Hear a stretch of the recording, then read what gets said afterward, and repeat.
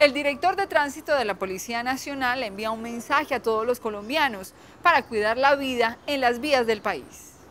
No podemos seguir llorando muertos, no podemos seguir perdiendo seres humanos por irresponsabilidad.